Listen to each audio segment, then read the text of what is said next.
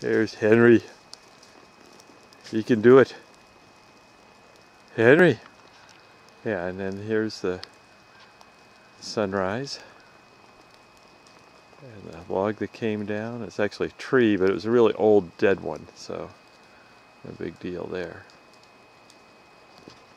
We'll go out to the golf course, like I said.